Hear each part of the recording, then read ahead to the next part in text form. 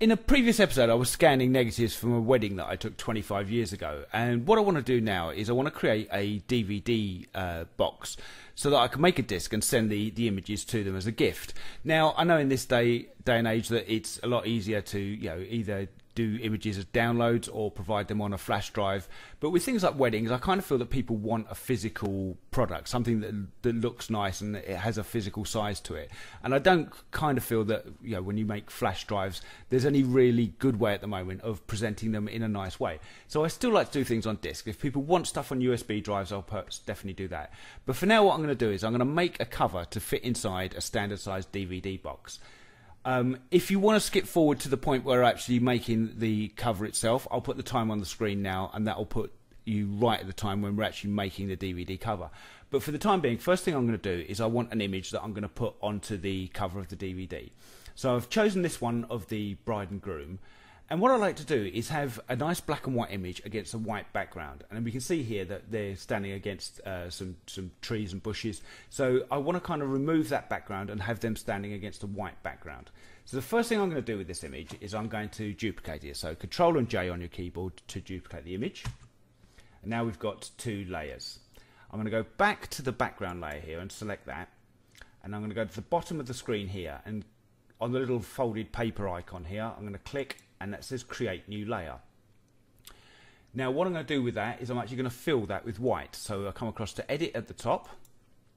In the drop down list here we have fill and we've got uh, options here. At the moment it's on foreground color but I'm going to drop down there and at the bottom we have white. So I'm going to click OK and now if I turn that top layer off you can see we've got a white blank layer sitting between the two copy layers that we have there. So I'm going to use this top layer now to mask out the areas that I don't want so they'll show through as white. So the first thing I'm going to do is just do a really rough selection around the couple to get rid of the majority of what we've got here. Um, there's a couple of tools you could use. I'm actually going to use the uh, polygonal lasso tool here just because it's easier and sometimes with the standard lasso tool you can uh, miss your place and end up doing a whole lot of selections that then jumps out. So I'm just going to really roughly go around the outside of them here now, just leaving a little border on the edge.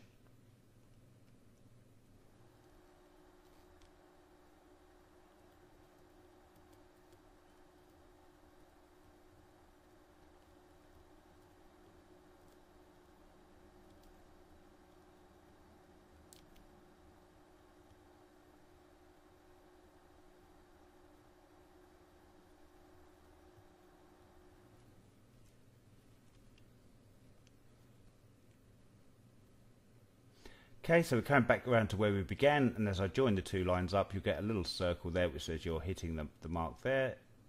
Touch that. And now you can see we've got the marching ants completely around the outside of them.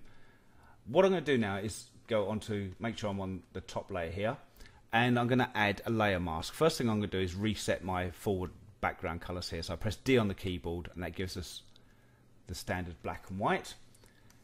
So I've got the marching ants around the couple, I'm now going to go here to the bottom, the little uh, square with the circle in it, rectangle with the circle. Click that, and that's going to give me a layer mask. And you can see now what that's done is it's just masked out the area outside of where I was working on. Now what I'm going to do is use this layer mask to define this closer in. So what I'm going to do is let's go for our zoom tool and we'll zoom in closer around the couple like that. Next thing I need to do is press B on the keyboard and bring up my brush tool. I need to make sure that my background and foreground colours on this side are black on the foreground, white on the background. And because we've got a layer mask here, if we're using the black colour with the brush tool, that will um, add to the layer mask. If we're using white, that will take away from the layer mask. So let's bring my brush size up a little bit. I'm just using the, the uh, square bracket keys on your keyboard here. If you, if you use the left hand bracket key, it will decrease the brush size. If you use the right hand bracket key, it will increase it. So let's start now. What I'm going to do is just use this just to bring in nice and close to the edge of the dress. I'm using a fairly soft edge brush here And again, because the use is there, I, I, this isn't going to, you know, I don't want this to be an absolute perfect cutout. Just something that will work on, on the size of a DVD cover. You'll see when we finish exactly how it will look.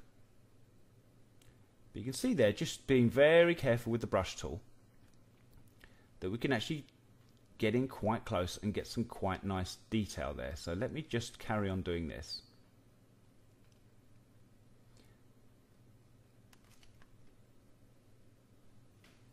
And what I like to do when we come to tricky areas like this is I like to go a bit further than need be and then press X on my keyboard which switches it back and just reveal back the areas that we want. There we go.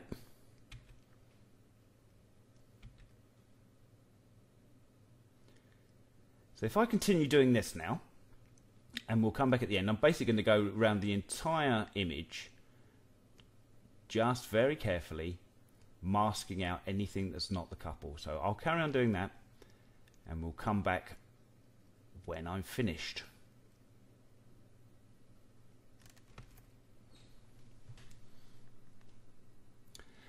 So there we go. I've basically gone around the entire image now. I've just got the last little bit to do here, and, and just as I said, using the brush tool with a very soft edge, just to mask out around the couple. And again, what I'm doing is I'm using the the X key on the keyboard to flick between the uh, black and white foreground and background colors. So if I accidentally mask out over the dress like that, if I press X and bring white to the foreground color, I can bring that back in. Now I'll put the edge back in, so X again to bring black to the foreground color, and I can just mask that back out again. So it's given me control over how I mask each part of this out. Now, there are loads of ways you could have done a cutout like this. If I really wanted to be, you know, finicky and accurate, you could use something like the, the, the pen tool to draw a really detailed um, outline around them. But this is just a quicker method that I find just to get the result I'm looking for. So there we go. If I bring this back to full screen, you can see now that we have them against the black uh, against a white background. Now, as I said, it's not the most accurate looking cutout, but for the purposes we're going to use, this is what we'll do. I'm looking at it now, and actually I don't like this bit with the hair there, so I'm going to actually just mask the flow of the hair out there. Just bring B up there. Let's just bring that back down there. Just bring it in like a few little wisps there. Make a really tiny brush. Just make a few little edges there. Bring it in a touch there, in a touch there. There we go, that's better. Right, I'm happy with that now. So as you can see now, we had our original image like that. And then now we've got the couple cut out. Now, if I'd known 25 years ago this is what I wanted to do, I would have shot the couple against a white, uh, a plain background to make it much easier to cut out. But not only did I not know that 25 years ago, the technology that we're using today didn't even exist 25 years ago. So this is where we are. So I'm going to leave this now. What I'm going to do is I'm going to merge this down into one image. So Shift Control E, and now I've got nice image of the two of them. I'm going to Control and J and just bring up a curves layer and just mellow it out a touch.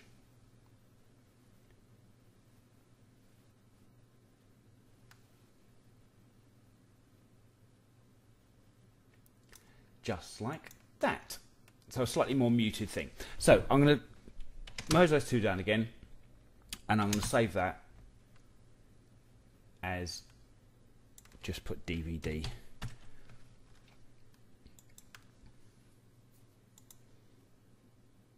Okay, so that's the image I'm going to use for the front cover now. Next thing we want to do now is to start actually creating a DVD cover. Now, you can either take a cover out of a DVD and measure it up, but there are actual measurements, you can find them online, to what the size of a DVD cover um, needs to be. So first thing I'm going to do is I'm going to um, create a, a, a new document. So I'm going to press Control and N. You can come up here to File, and your top option there is New, and you can see the keyboard shortcut is Control and N. So if I press Control and N, sorry, why don't we do it? Control and N, and now it's going to give me some options for sizing for making a DVD cover. Now the width for a DVD cover is 273 millimeters, which is 10.75 inches. So I'm going to change this to 273 millimeters. The height for a DVD cover is 183 millimeters, which is 7.2 inches. So I'm going to change this to 183.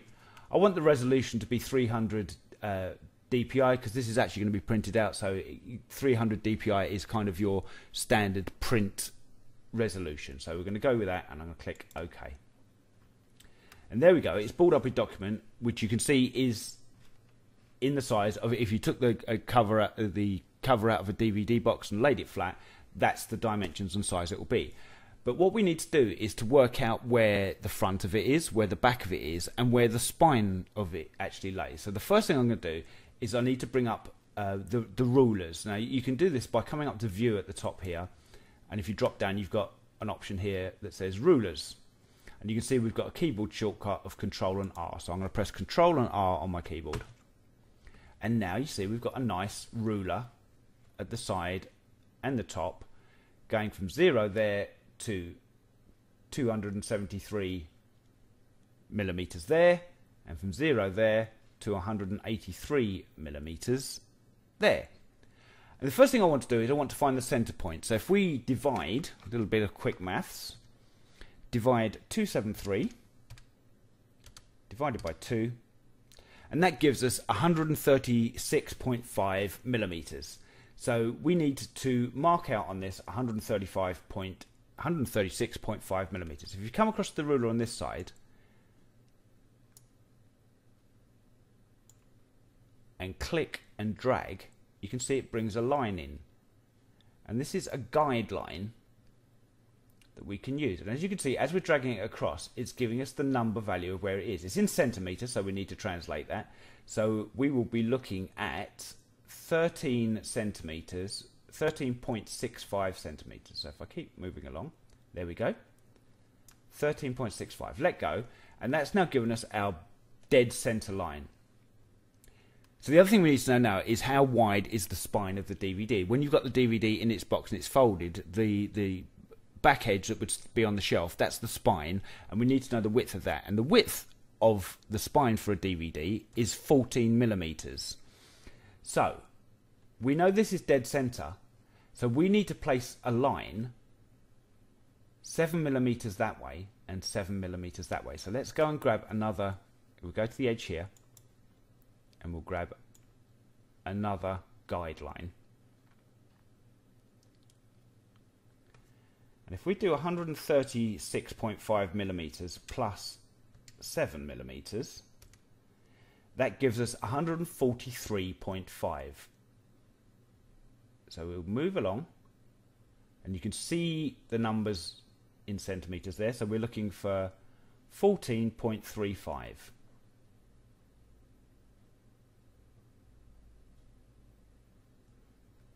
Nearly there. There we go. So that's one edge of our spine there. And what we can do now is we can now move this, what we had as our center line, back to the to the left seven centimeters, and that will give us our spine. So if we work out what that is, we had 136.5 minus 7 is 129.5. So we're looking at 12.95 centimeters now. So if we get our V tool, you can see now once we're on the line, it gives us a little shift. And we're looking to drag this to the left now until we get to 129, sorry, 12.95 centimeters.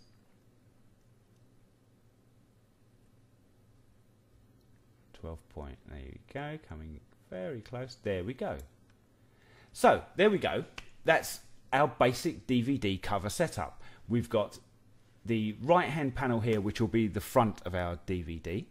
We've got the left hand panel here, which will be the rear of our, our DVD. And we've got this center area here that we have the guidelines on, which will be the spine of the DVD. So once it's folded over, then that's the bit that will run down the back edge of the of the DVD box.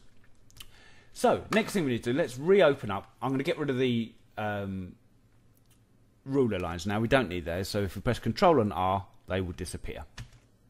There we go. We control and R, but we've still got our guidelines here. Just to let you know, these guidelines are just a a, marker. They won't show up on any final print. The final print will be completely clear of lines or anything like this. So we're going to go back and open up the image that we just did to use on the DVD cover. Let's open that. There we go. Let's move that out to one side slightly. And using our move tool, I'm going to click and drag that image into this side of the box. I can close that one out now, now I've got it. As we can see, it's way too large, so I'm going to press Control and T on my keyboard, which will bring up our transform box. And holding down Shift, by holding down Shift, it'll actually keep everything in the same ratio. So we'll start to drag that down. If you didn't hold down Shift, you'd end up either stretching or squeezing them. You can see now we're starting to get that within the size that we're looking for. a little bit smaller. And I think I'll bring them slightly to that side. Okay, just about there. Now I'm fairly, uh, maybe a little larger, let's go slightly larger. Let's say there. Okay, I'm happy with that, so I'm going to press enter.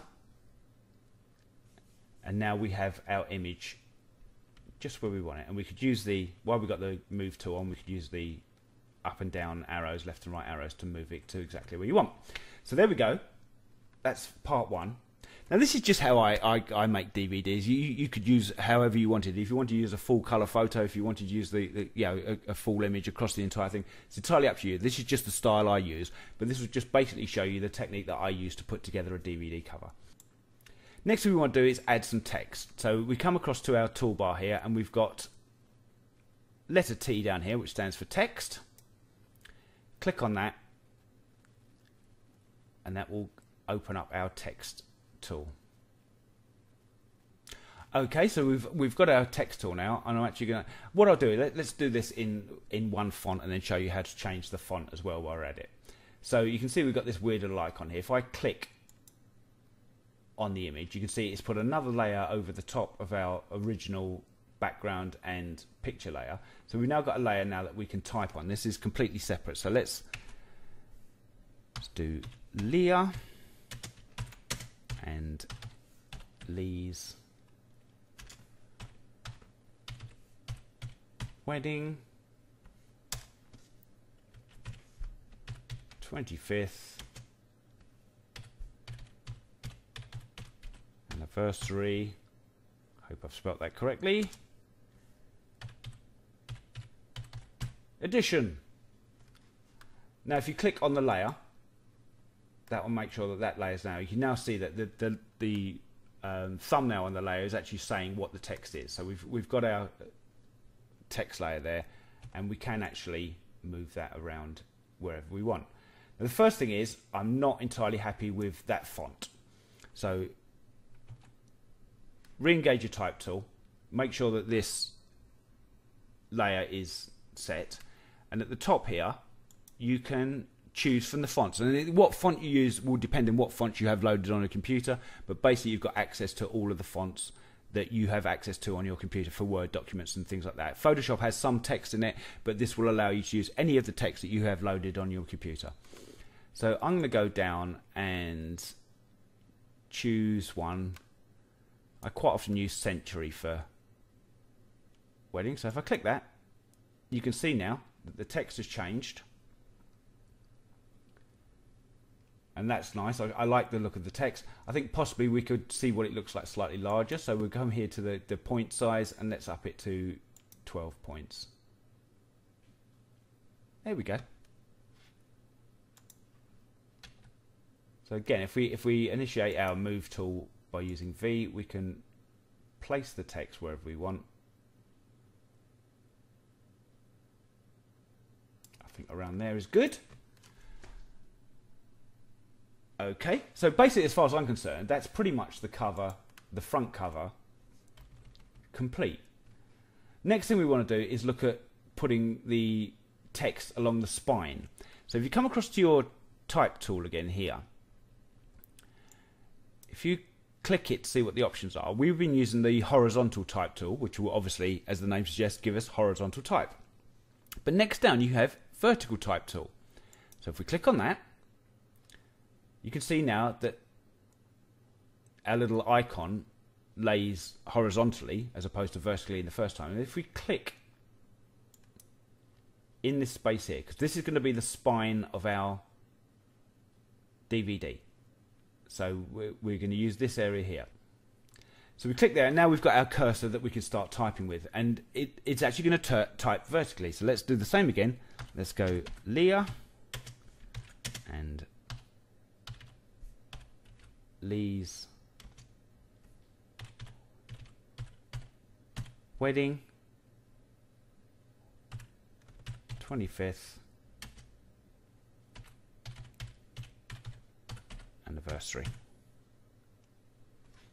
Click the layer to initialize the type.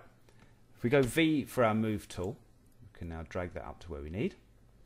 And you can see now we've got the vertical type that when the DVDs in the box are sitting on the shelf, that's going to be along the spine. There we go. And the, the last thing I'll do is I'll, I'll, add some text on the back here. But that's the basic setup for making a, a DVD cover. Once we print this out on, on an A4 piece of photographic paper, we can then cut it out to the size and it will fit within the, the standard DVD box, fold round and have the um, wording down the spine as well. So next thing, let's print this out and get on with putting it into the box. Okay, so that's the DVD cover complete now. The last thing I want to do now is just to print it out. So I'm going to Control and P. So I've set up all the print settings. It's set to print on best photo. And I'm just going to click print. You can see on the preview there that it's masking out the size of the image on an A4 piece of paper. So we'll have to cut that out when we finish. But let's print that off now.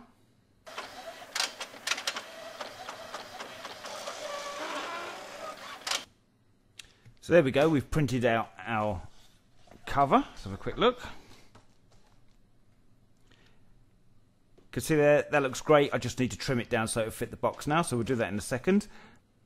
So the final thing I want to do with this is I, my printer is actually capable of printing onto blank discs. So I've got some uh, blank printable uh, CDs that I can uh, put into the printer.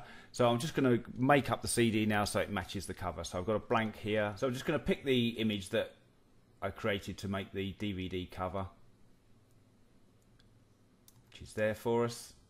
Click OK. That will then open that image onto the for the disc. As you can see, it's too small, so I'm going to and I should have held down shift because otherwise that's what happens. It gets all squashy. So let's redo that. Hold down shift, grab the corners.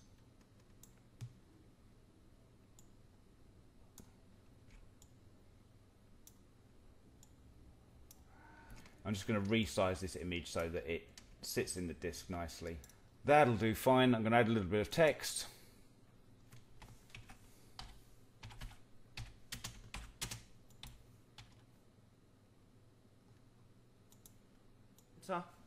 All it needs to do now is to load a blank disk into the printer, print this on the disk, and we are golden. So let me just get the blank disk now. Right, so I've got these blank printable discs. Um, so th these will allow you to print inkjet on the top of the, on the disk itself. For me, goes into this holder.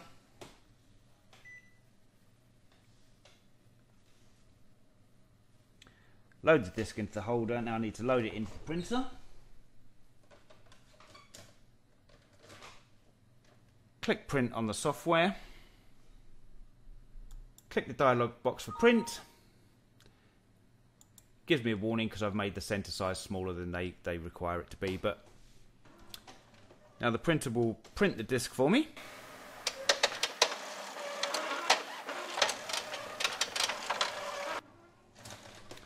And there we go.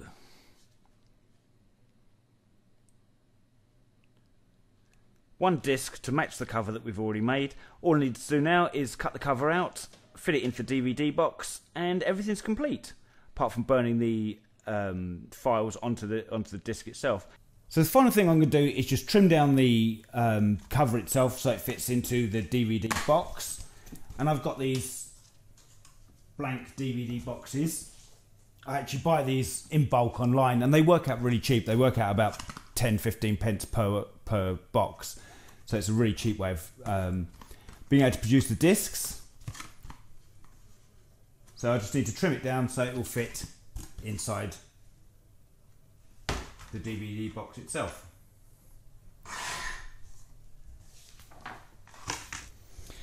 Okay, so that's the cover trimmed down. Let's fit it into the box now. Really simple, slides into the plastic cover there. Slides down inside. So there we go. It's the cover of the DVD. Back of the box. The spine, all done. Just need to finish it off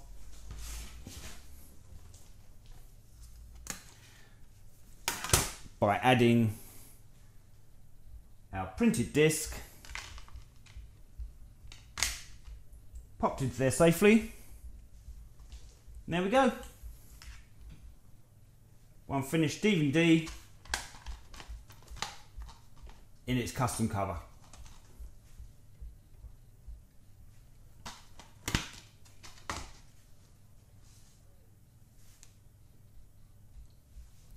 Fantastic.